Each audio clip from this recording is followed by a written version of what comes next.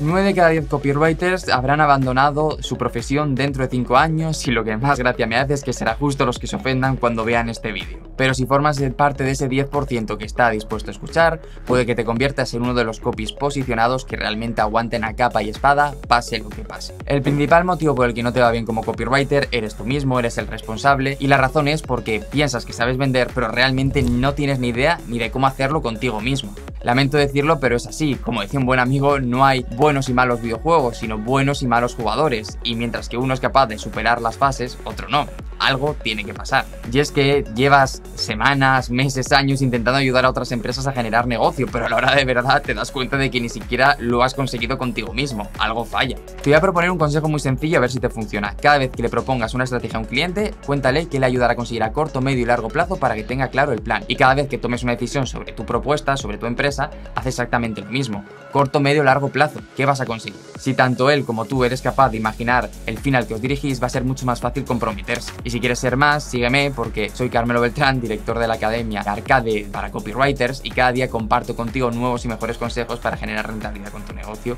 de copywriting.